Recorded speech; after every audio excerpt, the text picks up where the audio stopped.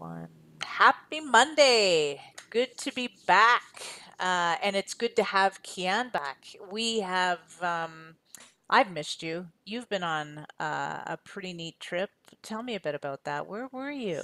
Yeah, thanks for asking. Uh, the last three weeks, I was not in the camp. I was missing the camp. I was not in California. I was in Europe for the first time. Just graduated college at UCLA.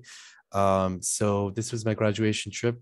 I went to four different cities, uh, you know, Edinburgh in Scotland, uh, Berlin, Athens, and Madrid. It was a lot of fun. I did not forget about bees when I was there, about all the pollinators. Very important, not only in California, all across the world. Um, so I was, uh, I didn't go to London, but I was like searching up because it's interesting. Uh, when you're in different countries, you search up news about bees or news about anything, it specializes it for that country. And I came across this uh, article that was produced by uh, University Queen Mary University in London. It's interesting. Um, basically, they're doing a study to determine. It's kind of high level study to determine how sentient bees are, how intelligent they are, um, and basically they found that bees. Um, they actually exhibit a good amount of variance in terms of their personality. So within a colony, within even a caste, there might be a genius bee that's doing something much more efficiently than the other bees, or there might be a curious bee that explores more than others.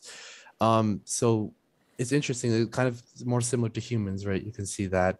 And also, uh, this article explored consciousness and feelings and how uh, they set up some interesting uh, experiments to see that perhaps bees have feelings. Um, so this this is interesting to me, and we'll make sure to put this link of this article in the chat. So not in the chat, but in the description, so you guys can check it out. Uh, that was just one thing I saw. I also saw some top bar hives um, in in Scotland, so that was pretty cool. Awesome. Yeah. Uh, I'm so glad you came back. It's great to have co-pilot at the camp once again. We have uh, we've got a lot of fun things coming up. We've got um, uh, advanced anatomy and physiology with Dr. Elina Niño on August the 13th. If you're a journey level candidate, we recommend that you do join us on August the 13th from 9 until noon over Zoom, and you can register for it on our website. Tri County Home Show in Roseville if you're in NorCal. We'd love to see you. Come on out. We've got some of our local club members from uh, SABA as well as El Dorado uh, uh, beekeepers are coming out to help us as well. It's a great opportunity to meet other beekeepers as well as master gardeners. August 19, 20, and 21. And if you volunteer, free parking and a VIP pass. You get to bring two people, uh, free admission plus free parking. So check it out. Uh, September 10, mark your calendars because if you're a member of the California Master Beekeeper Program, Dr. Elina Niño will be offering a free pest and disease ID over Zoom from 9 until noon, Saturday, September 10th.